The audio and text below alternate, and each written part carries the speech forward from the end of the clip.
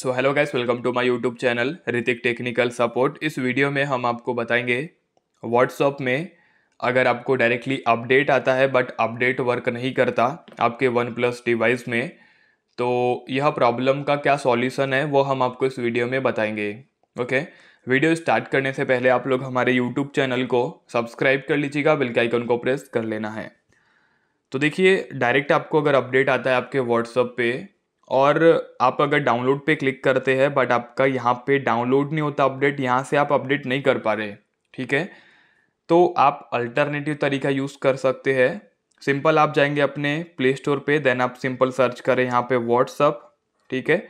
और यहाँ पे आपके व्हाट्सअप में अपडेट शो करेगा और यहाँ से आप उसको डायरेक्टली अपडेट कर सकते ठीक है? अगर डायरेक्ट आपका व्हाट्सअप व्हाट्सअप से अपडेट नहीं होता, वहाँ से अपडेट डाउनलोड नहीं होता तो आप प्ले स्टोर में जाइए प्ले स्टोर में व्हाट्सअप को सर्च करें और यहाँ से अपडेट करें। यहाँ पे आपको कोई भी प्रॉब्लम देखने को नहीं मिलेगी, ठीक है? तो सिंपल आपको मेथड चेंज करना देन आपकी प्रॉब्लम भी फिक्स हो जाएगी okay so topic is cover मिलते हैं नेक्स्ट वीडियो में। जय माता दी।